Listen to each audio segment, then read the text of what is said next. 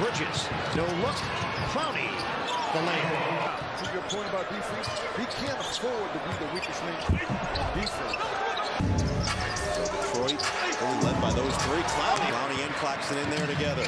Schroeder, leave it. Clowney, open. He buries it. Lonnie Walker is back there. And Walker aggressively inside, and Clowney throws it down.